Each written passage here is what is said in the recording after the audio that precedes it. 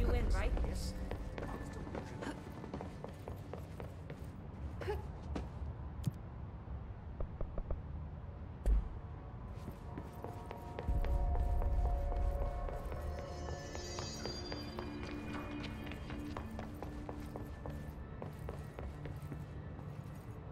Collins, any word on survivors?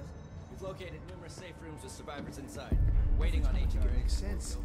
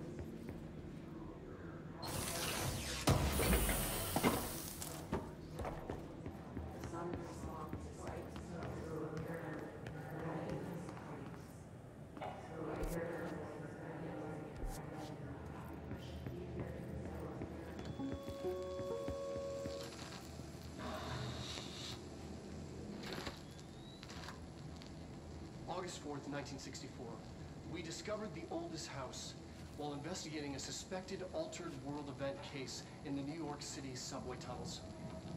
The agents found their way up into the building. Once we became aware of it, it was there. For the rest of the population, it was hiding in plain sight, a, a slippery blind spot, seemingly discouraging observation. It's uh, a place of power, an ongoing AWE of its own, seemingly adhering to its physical outer constraints and yet constantly breaking the known boundaries of reality. It's, it's unstable, shifting. Note, for more details on control points and the research and process to stabilize and secure the core sectors, uh, refer to a separate presentation.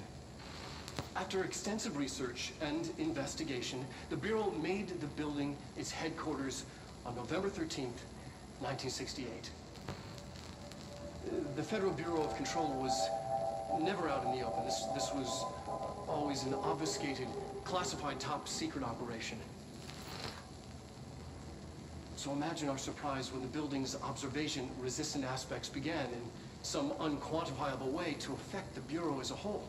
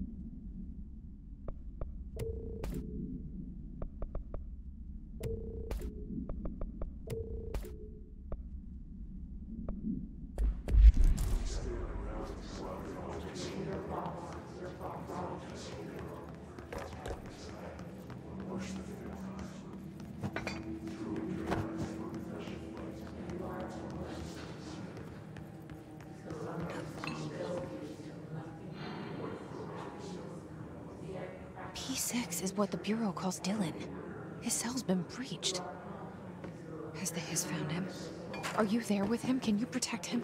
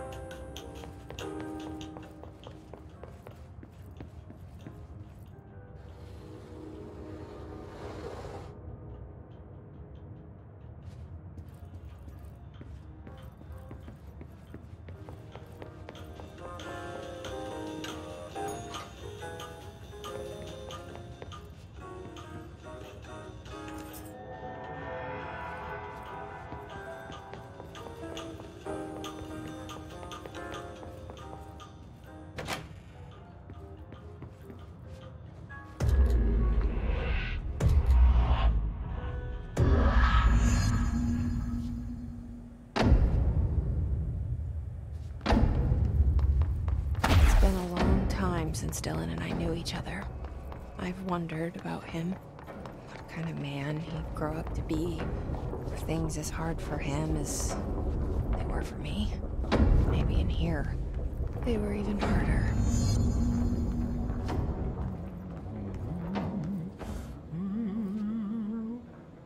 Oh, hello. Is there something I can help you with? I'm Jesse, the new director. I need to get inside. New director. Right. Uh, well, okay. Hello, I'm Frederick Langston, the Panopticon supervisor.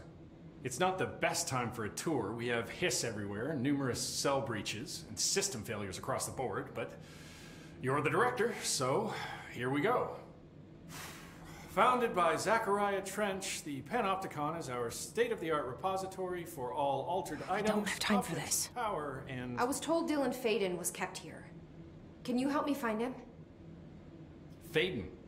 Uh, sure. Darling wanted him somewhere secure and isolated away from people. He's in the maximum security cells, upper level. But there's currently a, uh, a pressing matter, ma'am. We- We've got an object of power loose in there.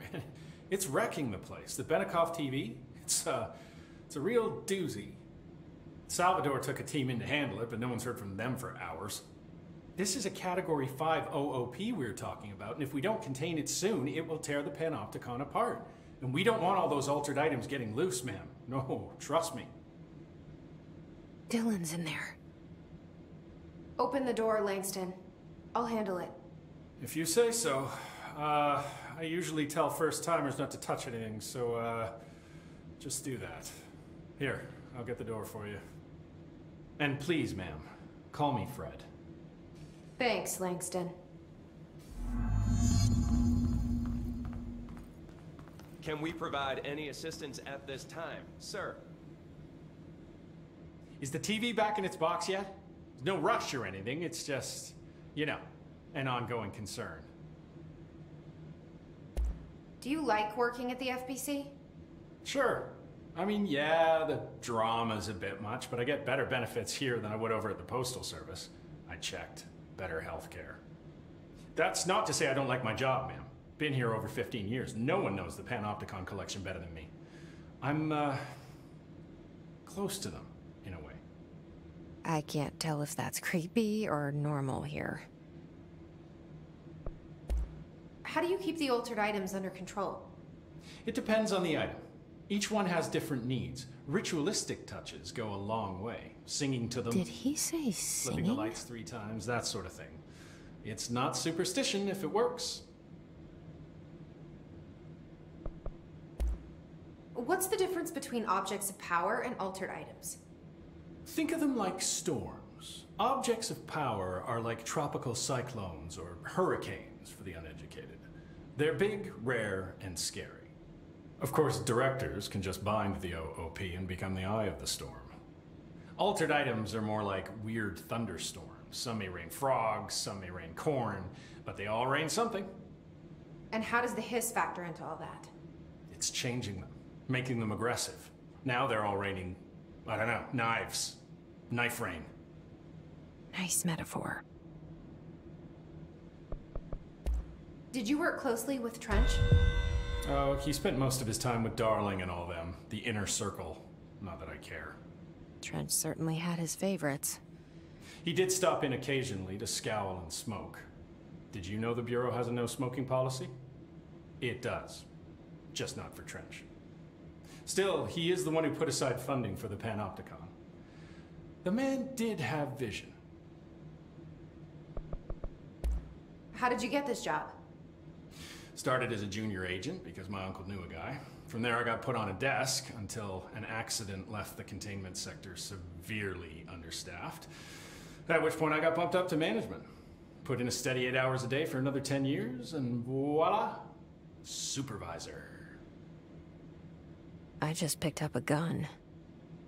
Or a gun picked me. I'll see you later, Langston. I'll be here, like always. The Panopticon. Dylan's close. But that object of power might wreck this place before I find him.